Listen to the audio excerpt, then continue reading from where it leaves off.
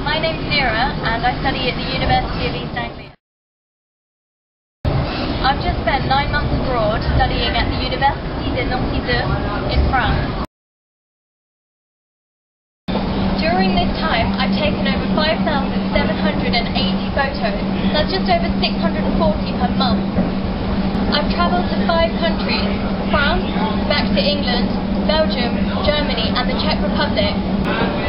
I've travelled to 10 cities, Nancy, Paris, Norwich, Prague, Brussels, Strasbourg, Metz, Montpellier, Saarbrücken, and Munich. I've also had 452 scheduled hours of class. Doesn't mean I've been to them all. And 20 hours of exams. I've had 15 guests from England come and visit me whilst I've been in Nancy. I even met the famous author Harlan Coben whilst he was doing a book signing in Nancy.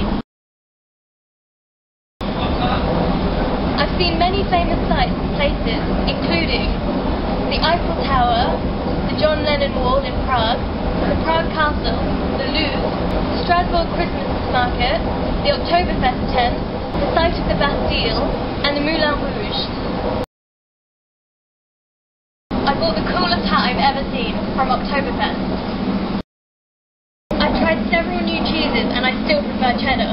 Munster is terrible though. I heard my first Catholic Mass ever in the Sacré-Cœur in Paris. I even hand-fed birds in front of Notre Dame Cathedral. I've seen peacocks in the local park.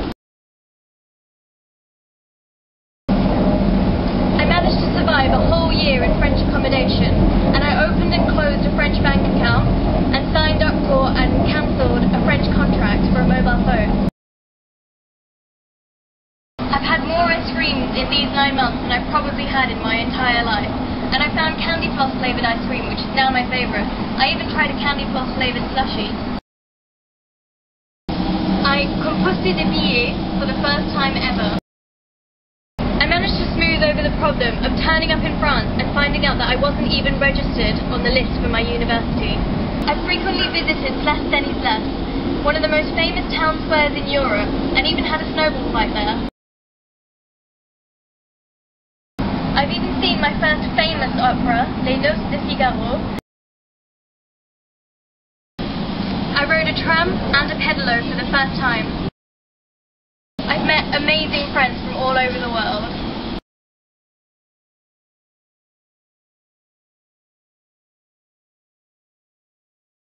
And just hopefully I've improved my French as well.